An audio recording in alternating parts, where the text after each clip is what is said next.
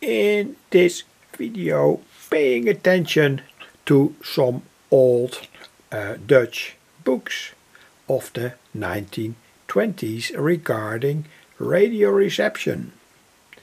Say, uh, radio in the biggest uh, ID of the word. So we have here the very, very important book of Mr. G. Corver of the 1920s and uh, the book is called The Wireless um, Radio Amateur Station. This is part 2, there's also a part 1 and I bought it on a radio flea market in the Netherlands. And well, uh, when you want to study old circuits, and then I mean especially old tube circuits of the 1920s, uh, here you have, say, the best, the best book to do that. Perhaps I can show something of it here again. Uh, interesting, of course. Beautiful picture, loudspeaker, uh, old radio station with tubes, etc., etc. Uh, well, uh, for instance, here I only say open the book on a, a certain page more or less random. Uh, this is the so-called click wave meter for shortwave. And of course, when you know something about uh, radio, shortwave radio, um, when you tune to a certain radio station, you hear uh, a click. Uh, anyway, and here all the say statics, etc., etc. Of course, it's a sea to drink. I cannot say uh, pen over too far. Uh, say this is a kind of window antenna. It's a loop antenna. Two loops, by the way, immersed together to get the best uh, radio reception and then especially on the magnetic part of the radio waves because this is a loop antenna. It acts on the magnetic parts. Anyway um, well what's this? Uh, anyway I cannot uh, say uh, directly comment on that circuit, but anyway. Interesting to see a 1920 um, amplifier, tube amplifier. Uh, it tells uh, uh, the inner side of a choke coil and resistance amplifier and of course there is always a big difference in those days by the way by coupling uh, one tube to the other tube. Uh, th that was done say via resistances and also via uh, coils say transformers. And they make of course say a very very uh, essential difference in in the way how say uh, amplifying um, units could be a transistor could also be a tube are coupled. You can couple them via a transformer or via a resistor. Anyway so some true somewhat again here a loop. Uh, radio receiver etc etc and of course you will surely find in this old book uh, by the way, uh, a book that is, say, key for the radio circuits in the Netherlands uh, in the 1920s. All kinds of circuits and photographs anyway. Beautiful uh, tube radio also here and here you see three capacitors in a row. Very, very, very good. Anyway, uh, well, uh, when you are interested in old school radio circuits uh, and more tube radio circuits, go to the website or the YouTube site of All American 5 Radio. Uh, Richard uh, tells here, tells on his website, on his YouTube channel, much more about tube circuits and especially uh, radio circuits. He has many, many circuits on his YouTube channel. Well, this is also a book of the 19, uh, I think the 1920s. The new radio book for boys, of course also for girls in those days. Uh, and here again you will see all kinds of radio circuits and this uh, filter circuit for instance is also now used in 2023 in uh, computers, computer power supplies. Coils here, two capacitors here. It's a uh, filter that filters out all kinds of noise.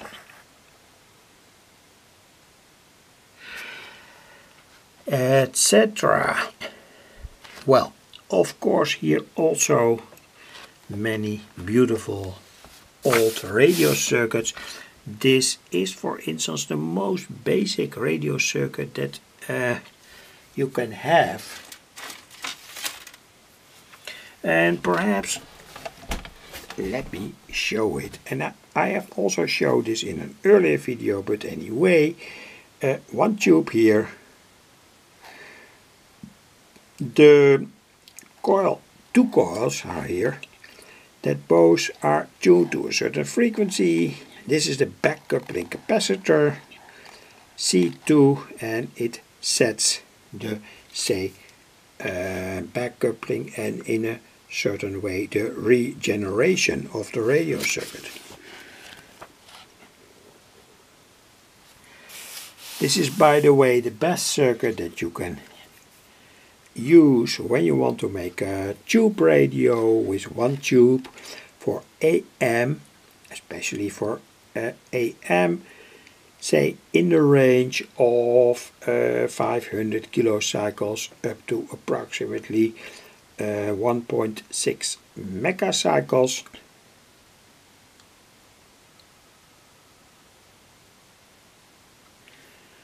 Say 50 picofarad here say this capacitor is tuned here to the uh, AM band that is uh, between say 600 kilocycles and approximately 1.6 megacycles 500 picofarad. This is uh, in the order of um, 200 microhenry up to approximately 470 microhenry. Correct me when I'm wrong. So this is the tank circuit. And here, uh, out of the amplifying unit, that is that triode tube, there is a back coupling capacitor with which you can set this uh, AM uh, radio circuit to a very precise uh, frequency by coupling it back. So uh, anyway, of course, this the whole principle can also be used for a short wave with a tube. Anyway, well, that was more or less all to tell. I also have a very old book of the 1920s.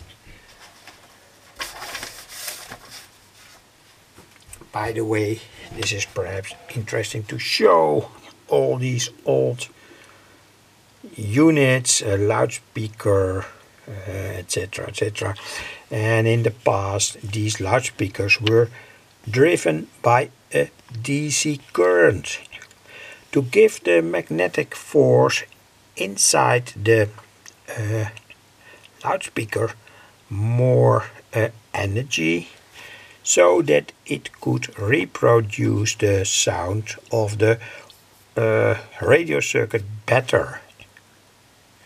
That's the reason why you see here a transformer. Anyway, much more information on the World Wide Web and perhaps also interesting to show this very old book out of the Netherlands. Radio telegraphy and radio telephone. Uh, telephony. Well anyway. Issued by Kluwer in the Netherlands. A very very old book. Uh, I found this book and also found of someone who had this book in the past, his uh, uh, notes. That's in, of course, interesting. Say these notes were made in the 1930s or so, anyway. Uh, well, um, of course, in all these old books, you you find kind of the same types of circuits. For instance, I thought about the triode circuit and this is exa exactly the same. It's a triode circuit with a backup backcoupling coil. So that say a certain radio frequency can be pushed up uh, regenerated because the a part of the energy that is received in the coil and is say uh, given back to the primary coil um, that's a, a kind of way to make such an old school tube circuit. Uh, say pushing up the energy out of the radio coil to a certain uh, say to the best value. That's what I wanted to tell. Anyway uh, so old book. Anyway uh, here another book. I want to show the it this this is very old book of the 1920s the radio book for uh, commerce, amateur and listener by engineer Shearer. I have already made a video about this on my YouTube channel. Uh, my camera runs out, so uh, I'm now on 14 minutes on my camera and there is, say, beautiful old schematic here that I want to fold out. Uh, very, very big. And, uh, well, well, I'm on 14 minutes on my camera, but anyway, uh, the only thing that I wanted to show here is that in those days, uh, this beautiful old, very, very big schematic was made and perhaps here we have exactly the same one triode tube radio. and you can surely make it and I have made it in the past. Say for AM this coil has to be has to be tuned to AM, say 500 kilocycles up to approximately uh, 1.6 megacycles, one triode tube. And here there is a telephone and the telephone has to be in the order of the DC resistance of such a telephone has to be in the order of 2000 ohms. And you can also use say a crystal telephone but of course then use here a uh, 2000 ohms resistor that parallels that crystal telephone. That was all to tell. Uh, I don't have enough time. I can say talk.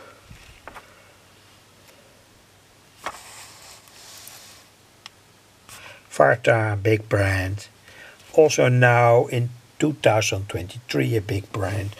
Uh, I can talk hours about all these old radios.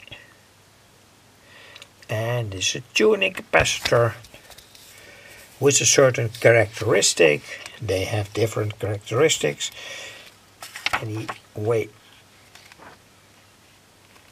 I hope uh, it was not a too sloppy video. Want to end finally with some circuit out of this book. We constantly see this way of making uh, radios with tubes, triode tubes. And of course, all you you see always here uh, uh, how the filament to the currents of these uh, to the how the filament current is changed can be changed with the help of a resistor here. Uh, say it means also that both tubes uh, are giving out more or less electrons from the cathode to the anode because the say the filament heats up or does not heat up enough etc etc that gives different say uh, properties about how such a tube is biased. So uh, let me show some pictures before my camera will surely switch out old transformers uh, well perhaps interesting to show more uh, also tuning capacitors of the 1920s. They worked very well and etc. So that was all.